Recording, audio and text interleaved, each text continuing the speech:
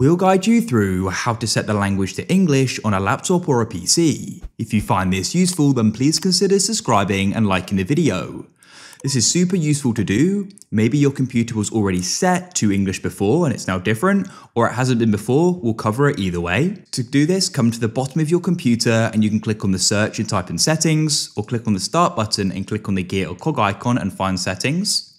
Then come over to the left here and click on the icon with the world icon and the clock. And you then need to go and click on the language option, which has got the world icon with the different languages here. Go and click on it. Now, what you need to do is go and find English here. You may need to go and click on the add language button. It's this black button here, and you can then go and type it in. I've already got it. So if you haven't, select it, and you can then go and add it by clicking here. I've already got it though. So once it's in this list, then all you need to do is go and click on this drop down menu in the top right, and you can go and select English. But first of all, it needs to be added and downloaded here. I've already done that. So I can then go and select it. And then to confirm your decision, we need to click on this button here and we'll sign out and sign back in. When you sign back in, the language should be set to English.